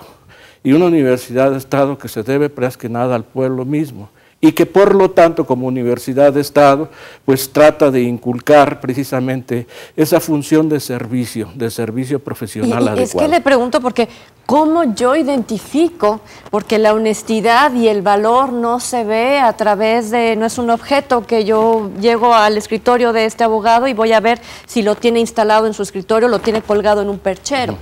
Bueno, lo que va a encontrar colgado será su título profesional, ¿verdad? Este, que, hay que, revisarlo. Claro, exactamente, esto es muy importante, ¿verdad? La titulación. Y además, este, pues efectivamente, como usted dice, eh, valga la expresión, eh, no es que esté un documento que digamos, ah, esto me garantiza que es eh, moral el, el profesionista, esto me garantiza que trabaja o labora de acuerdo con la ética. Lo que pasa es que precisamente el profesional del derecho, sus antecedentes, este, su trayectoria que ha tenido dentro de la sociedad, pues ya nos habla mucho de él. En este caso, el profesional del derecho debe de ser precisamente una persona que antes que nada eh, preste sus servicios a la sociedad, tomando en consideración pues el esfuerzo que la sociedad misma realiza, ¿verdad?, para sostener instituciones como nuestra propia universidad y que produzcan profesionistas adecuados a, sus, a, las necesidades que tiene la población. Eh, es muy importante, insisto, la práctica profesional, como también los antecedentes. Sería bueno, si es posible, a las personas que acuden ante un profesional del derecho, Sería bueno informarse de cuál es la trayectoria, la trayectoria que ha tenido el propio profesional del derecho, ¿verdad? Entonces, estas son unas pautas que se dan a seguir. Aquí desempeña una función importante y ojalá fuera más decisiva y más puntual en esta situación, la función de los colegios de profesionistas. Esto es muy importante, ¿verdad? Como en otros países sí encontramos que es un garante del, ante la sociedad precisamente de que, que tenga su registro ahí. Sí, además de tener registro de que va a contratar los servicios de un profesional del derecho, pues sea eso precisamente, actúe conforme a la ética y a la moral imperante. ¿Qué acciones son eh, violatorias de estos eh, compromisos que tienen que ver con la moral? moral? Eh, bueno, la, honradez misma del abogado empezando, ¿verdad? Su propia formación, su propia integridad como persona. En segundo lugar, ¿qué acciones son importantes y hay que tomar en cuenta por parte del profesional del derecho? Precisamente lo que se refiere más que nada a, los aspectos eh, en cuanto a sus antecedentes. Sus antecedentes, vuelvo a insistir mucho en ello, los antecedentes que se tengan precisamente de él como profesionista. Es también importante eh, recalcar que el profesional del derecho, ante todo, pues debe saber, como decía un abogado catalán, ¿verdad? Roca que decía él que eh, precisamente es el abogado el que se debe al cliente, ¿verdad? Y no el cliente al abogado. Hay en muchas ocasiones que el abogado se convierte en el mejor amigo, se convierte todavía en una persona mucho más fiel que un mismo familiar, o que la misma esposa o el esposo, ¿no? Así es. Si en algún momento yo que contraté veo violado el derecho a este eh, silencio, a esta secrecía, a esta eh, eh, intimidad, a lo mejor que se violó en los secretos que se guardaron, yo, sé, yo puedo demandar a este abogado? ¿Hay algo que me proteja a mí como usuario? Claro, claro que lo hay, ¿verdad? Y está nuestro propio orden jurídico este, al respecto, ¿verdad? Tanto acciones civiles como acciones penales están previstas en nuestra legislación hoy en día. Quisiéramos que fueran un poco más estrictas en cuanto, vuelvo a insistir, a la participación de los colegios de profesionales, también como garantes de la sociedad, de que abogado que se contrate actúe realmente dentro de un punto de vista ético profesional adecuado. Eh, esto es importante considerarlo porque en realidad precisamente la función del, abogado, usted acaba de mencionar un aspecto importante de las obligaciones profesionales, la guarda del secreto profesional, la lealtad hacia el cliente, ¿verdad? la abstención en la práctica de recursos improcedentes, ¿verdad? en fin, el cobro adecuado de honorarios profesionales, en fin, todo esto son partes integradoras precisamente de los deberes profesionales del abogado y que precisamente tienen mucho que ver, y tienen mucho que ver, vaya si lo es así, la propia ética, la ética profesional. Abogado Miranda, yo creo que esto, eh, muchas veces aquí en ese espacio de Revista Jalisco le decimos a las personas cómo hacer el procedimiento ante, por ejemplo, una este, eh, testamento, etcétera. Pero yo creo que lo más importante para poder salvaguardar nuestros, eh, nuestro patrimonio y nuestra integridad moral también, pues es saber y conocer a un abogado desde eh, esto desde la moral, de lo que, desde donde aprendió y lo que eh, ellos pueden desempeñar en el ejercicio profesional. Hay que investigar a quién contratamos, esto es muy importante. Abogado Miranda, le agradezco mucho que esté con nosotros esta mañana. Al contrario, les agradezco mucho este, que me hayan invitado y participar estas breves reflexiones, ¿verdad?, con su auditorio. Así es, seguramente lo haremos en otra ocasión. Le agradezco mucho. Nos vamos a ir a la pausa. Eh, recuerda que al regresar tenemos un tema muy interesante para ustedes, precisamente una propuesta que hay en Zapopan, el de pagar o no pagar los estacionamientos cuando uno va a un espacio público o una plaza comercial. Con ese tema regresamos después de la pausa.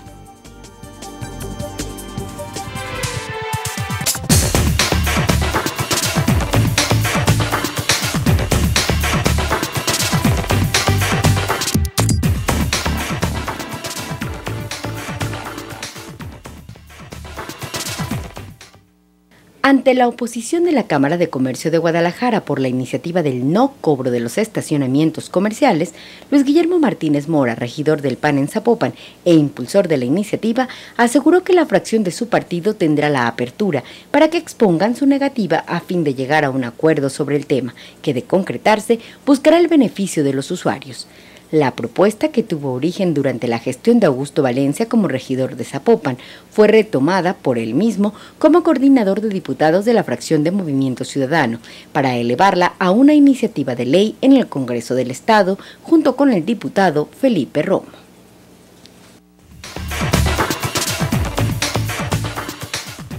Bueno, y estamos precisamente platicando con quien ahora retoma precisamente esta propuesta y eh, vamos a ver si la hacen precisamente eh, pues eh, real ya, en, al menos en lo que concierne al municipio de Zapopan. Guillermo Martínez Mora, regidor de Zapopan, se encuentra con nosotros y nos da mucho gusto darle la más cordial bienvenida. Al contrario, muchas gracias por invitarnos. Platicamos con el abogado si es o no es legal que nos cobren un en un espacio público tan caros estacionamientos en Guadalajara. Guadalajara como zona metropolitana. Bueno, eh, vamos a hablar que Zapopan tiene el 78% de los centros comerciales en la zona metropolitana. Entonces, a quien, en donde tiene más problemas la ciudadanía es precisamente en los centros comerciales de Zapopan, independientemente que es la parte que nosotros nos involucra como regidores y que por eso yo he tratado de hacer una sinergia tanto con el diputado Romo, con el diputado Valencia, para que tanto en la ley estatal como en el reglamento del municipio de Zapopan pueda establecerse y no seguir con tres o seis años de, de, estar diciendo las cosas y que las cosas no suceden.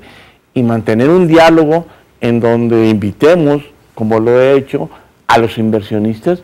Nos hemos dado cuenta que un parquímetro cuesta mucho más caro que un estacionamiento. 40% más caro de lo que cuesta un estacionamiento. Y estamos hablando de la vía pública y estamos hablando de un estacionamiento donde no nos, tenemos ninguna garantía. En muchos estacionamientos pues se tienen pólizas de seguro para golpes, no para robos de cosas que dejamos, porque hay que entender que hay una confusión ahí. Mucha gente dice, es que no es cierto que tenemos eh, garantías. Garantías de los robos, de lo que se deja, no. Pero sí se tiene para efectos de cualquier vehículo. choque o golpe que se le den a los vehículos. Este, y por el otro lado, el reglamento de Zapopan, yo me voy a concretar, el reglamento de Zapopan dice que por determinado número de metros cuadrados están obligados a darles ciertos espacios a cualquier locatario que ponga un negocio y que éste este, tenga que prestárselo como servicio para poder estacionar. La muestra son las plazas pequeñitas que tienen 10 espacios y que ellos mismos ponen un letrero y dice, este espacio es para la tienda fulana de tal. Y tienes tres espacios que te corresponden. Vamos pensando en gran escala, también deberían de ser estos espacios gratuitos, porque les obliga a proporcionarlo. Y, diferenciando claramente de, de los estacionamientos público-privados, que esos son inversionistas que hacen una inversión con sus propios recursos para poner un estacionamiento en una zona determinada a lo que es un centro comercial o un área comercial, que son dos cosas totalmente diferentes. Este tiene derecho a cobrar lo que hoy en Zapopan marca la comisión tarifaria. Estos tienen la obligación de proporcionar los espacios necesarios para que los usuarios tengan que ir sin tener que pagar ningún este, recurso adicional por ir a comprar. Los que han dicho no ven como riesgo de que vayan más personas con su automóvil sin la necesidad de comprar, que vayan a ver tiendas a caminar y que bajen eh, sus ventas de estos eh, Un ejemplo muy claro que mucha gente nos pone, dice, es que Plaza Patria no cobra. Pues sí, pero Plaza Patria no encuentras estacionamientos, todo. No sabemos, eh, puede llegar cualquier gente y, y andar caminando y no ser a lo mejor consumo de nada, mientras que los que van a hacer alguna compra, pues no tienen un espacio para poderse estacionar. Y no tienen servicio de señalamientos, o son, o son mínimos, o no tienen garantías. O sea, eh, y los otros que tienen garantías, pues eh, hay algunos que están cobrando en forma verdaderamente irracional. Y aquí me parece, y esa es la, postura que nosotros hemos tomado en el municipio, eh, el hacer un llamado. Hemos tenido tres reuniones con las cámaras de comercio, con estacionamientos para que ellos expongan cuáles son las circunstancias que ellos tienen.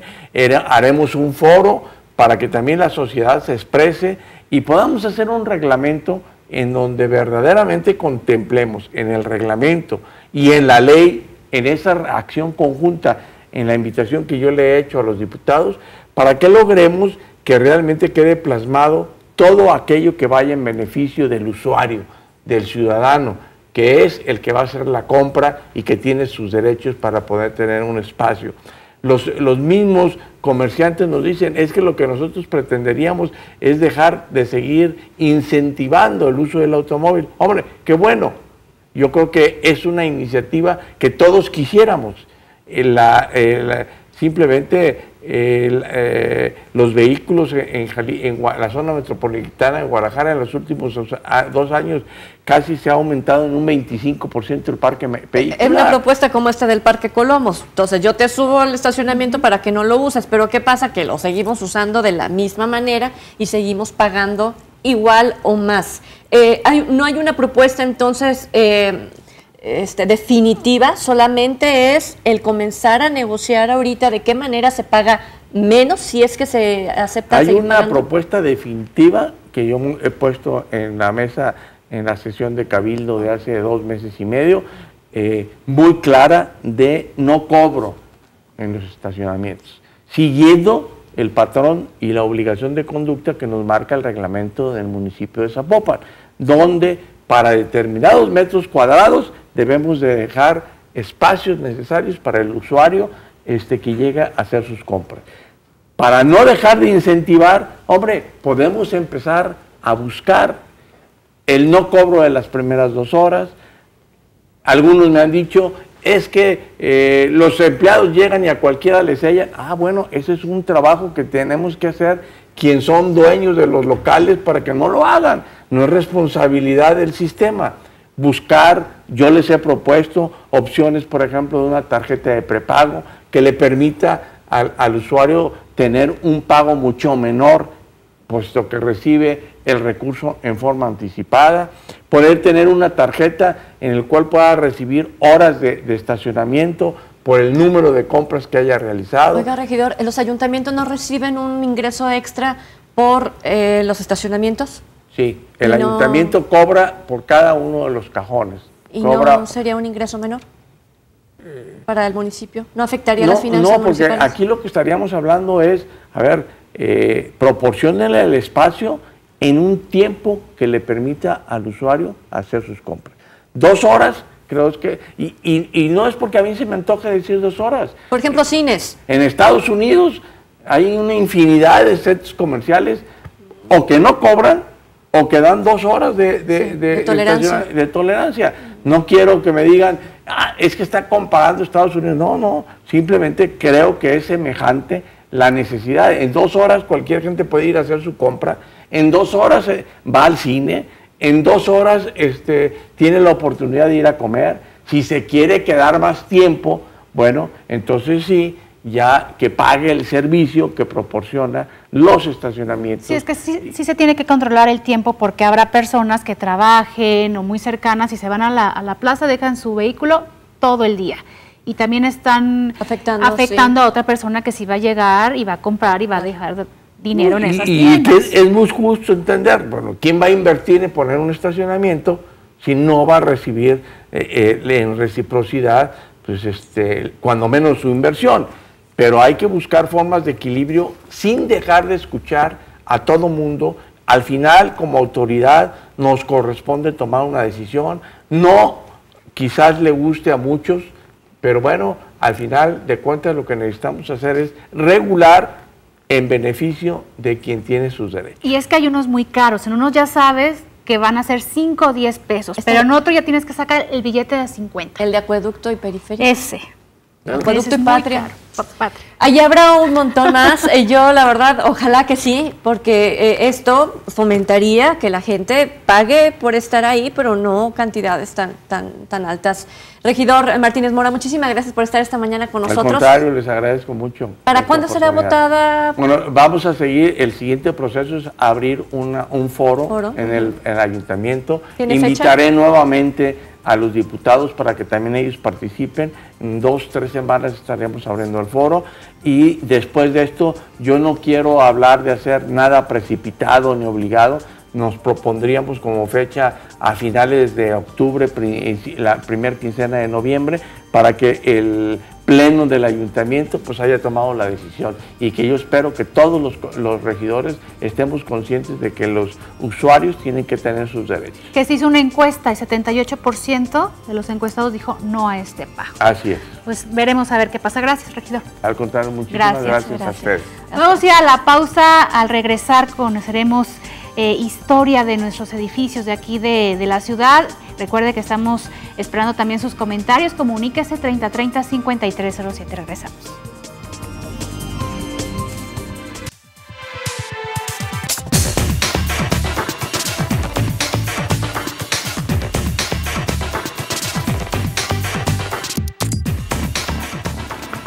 Ya está con nosotros el arquitecto Carlos Correa y nos vamos a poner nostálgicos porque vamos a em, desmenuzar esa historia de lo que ya no hay, esos edificios, calles, de lo que vieron tal vez nuestros papás, nuestros abuelos. ¿Cómo está, arquitecto? Bien, ustedes, con el gusto saludarlas a ustedes y a sus televidentes. Pues aquí listísimos para precisamente ubicar, eh, porque a lo mejor vemos Guadalajara y para nosotros es así, porque así la hemos visto siempre, quién es a lo mejor dependiendo de la edad, recordamos algunas cosas, ¿no? Sí, pero es importante irnos hacia atrás en el tiempo, ¿no? Y en la historia y esto que es lo que nos da referencia para ver cómo vamos caminando hacia el en el presente y luego hacia el futuro. Y esto es muy importante porque hay que entender la ciudad, hay que entender en dónde vivimos y qué es lo que tenía nuestra ciudad y por qué se ha quitado, se ha hecho un lado, se ha eh, derrumbado, se ha quitado, se ha derruido, etcétera, etcétera, todo esto. Ha sido una transformación muy rápida. Eh, fue muy rápida a partir de la segunda, de la mitad del siglo XX hacia adelante, aunque todo empieza también desde finales del siglo XIX. Poco a poco esto se ha ido quitando, tanto en los aspectos de, de edificios religiosos como de edificios institucionales. Hay que ver que ha sido muy eh, determinante esto, este proceso. ¿sí? En su lugar, hemos entendido la modernidad por haber metido algunos edificios ya eh, dados. Por ejemplo, allí tenemos lo que era la parte de Aranzazú, ¿verdad? Enfrente de Aranzazú, donde está hoy el Hotel eh, Compostela, y al final estamos viendo lo, que, lo que ahora existe, ¿verdad? Los edificios anteriores con los edificios actuales.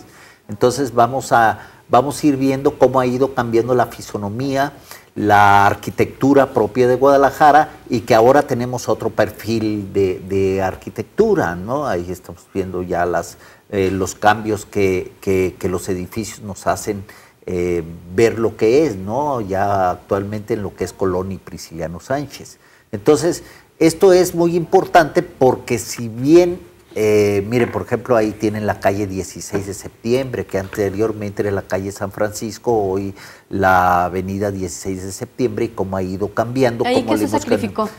Allí todo, allí se abrió totalmente, ahorita lo vamos a ver, vamos a ver que toda la parte para abrir eh, lo que se va a llamar en, los, en algunos historiadores la crucifixión de, de Guadalajara, ¿por qué? Porque van a abrir todo lo que es eh, lo que venía siendo la calle Alcalde y luego la calle San Francisco, que era que después fue 16 de septiembre, y va a cruzar con la avenida Juárez. Esa es por un lado la calle, la cuestión de la crucifixión urbana, pero también hay una cruz de plaza.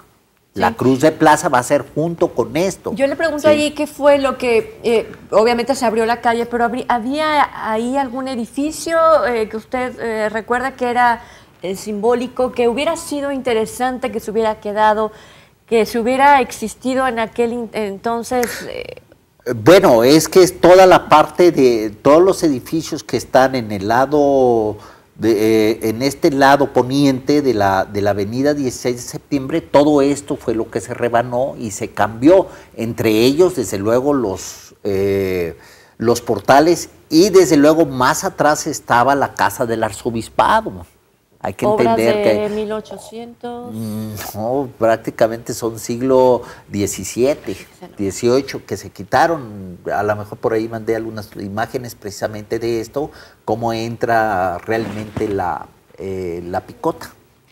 Y, que vemos en estas eh, fotografías los, los autos y que se le ha dado paso más a la movilidad eh, en el sentido de, de los que conducen el, el automóvil. Se ha quitado las banquetas, las plazoletas, los atrios. Sí, Guadalajara era una ciudad que tenía una estructura urbana muy interesante. Eran estrechas las, las calles y luego se abrían un poco en pequeñas plazas y luego se volvían a cerrar y luego se vuelven a abrir, que es muy de la característica de, de, españoles. Por ejemplo, ahí tenemos la casa del arzobispado, ¿sí? Ahí la tenemos exactamente a un lado de, de catedral, ¿sí? a un lado de catedral, y todo eso se, se, quita y entonces vamos a poner un palacio municipal, ¿verdad? Que vamos a abrir todo lo que es la calle 16 de septiembre y le vamos a abrir también una plaza enfrente a catedral cuando ya le habíamos quitado el atrio en 1914 a catedral y eso es muy importante, allí vemos cómo está enjarrado catedral y después catedral le quitan todas las cuestiones de los enjarres. Entonces, esta Guadalajara ya no la lógicamente a conocer, pero podemos compararla como una ciudad colonial que pudo haber sido la mejor en su caso, ¿verdad? Y vemos lo que se llama la pila roja, que hoy está en el Museo Regional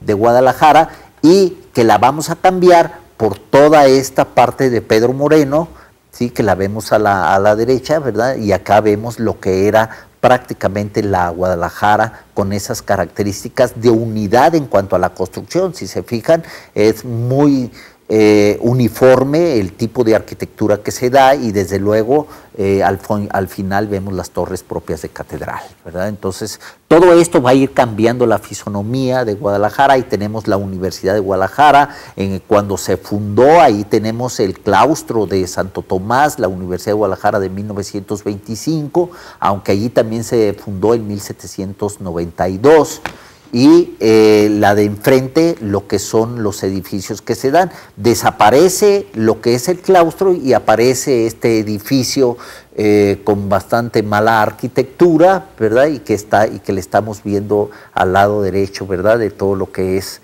la, Universidad de Guadalajara y que ya hablamos un poco de ella. Y, sí, y déjeme preguntarle, porque ahorita con la línea 3 eh, del tren ligero se descubrieron, no se descubrieron porque seguramente ya se había hablado de ellos, de los eh, pasajes que había subterráneos para el tiempo de la, eh, de la eh, este, guerra cristera, donde llegaban, si, no me deja mentir, hasta Tlaquepaque. Este... Y, que, que, ya aparecieron y que adiós, va y se van estos túneles, ¿no? Bueno, definitivamente había galeras, en la parte de abajo. Las escaleras eran presente la conexión de aguas pluviales, de ríos subterráneos, etcétera, etcétera, que tuvieron que normar propio de las construcciones. También había, sí había, si está comprobado, una conexión entre lo que es la casa del arzobispado y lo que es catedral, ¿sí me explico? Porque sí había una conexión por donde se daba precisamente el transcurso de que, del, del pasaje que se da con los sacerdotes que lo hacían en ese sentido y con el otro sentido también hacia el seminario conciliar. Pero que sean tan largos, yo he escuchado también, por ejemplo, el de Santa Mónica hasta Catedral, y que eso fue utilizado por los cristeros, ¿verdad? Pero también sí que algunos definitivamente funcionaron más bien como una situación de, de, desagüe de las cuestiones este, No tanto con nuestra historia bueno, si hay una historia este, de leyenda mitológica dentro de toda esta circunstancia que los hace interesante y que la gente empieza a, a preguntar. Yo tengo fotografías más actuales en donde entran los bomberos a estas galeras para revisar cómo está funcionando la salida de las cuestiones de drenaje. Pues se va a ir Pero las traemos un día con mucho gusto para que ustedes las vean y todas Se ve esa parte de nuestra historia. Nos trajo un regalo. Y vamos a ver, vamos a seguir esto de que se ha quitado. Sí, miren, este es un libro extraordinario que acaba de presentarse, que es precisamente la historia del reino de la Nueva Galicia. Los coordinadores son desde luego los doctores eh, Aristarco eh, Regalado Pinedo y también el doctor Tomás Calvo, que ha escrito mucho sobre Guadalajara. Lo vamos a regalar mañana. Y 18 historiadores, ¿eh? 18 historiadores de cinco grandes instituciones. En Revista Jalisco. Gracias. buen día. Al contrario, nos vemos, nos vemos mañana. Gracias por su atención.